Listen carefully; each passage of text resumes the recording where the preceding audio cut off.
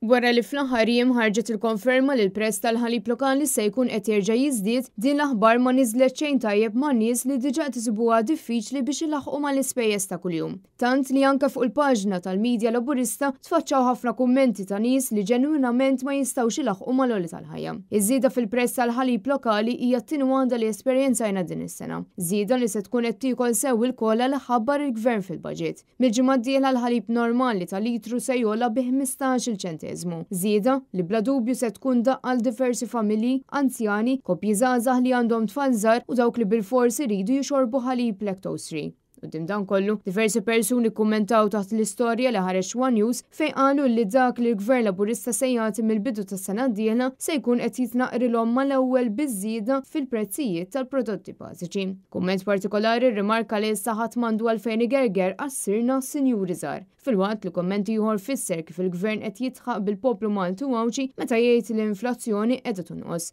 Taħt l-istess artiklu, persuna oħra qalet li ħmistax-il ċenteżmu fuq ħalib ta' litru hi żieda sostanzjali meta tikkunsidra li familja jaf ikollha tixtri aktar minn pakkett wieħed kuljum. Il-prezzijiet il-ġodda tal-ħalib se jidħlu fis-seħħ b'effett minn nhar il-Ġimgħa, bil-kumpanija Malta Dairy Products tgħid li dawn qed jirriflettu ż-żidiet sinifikanti fl-ispejjeż tal-produzzjoni u tal-operat.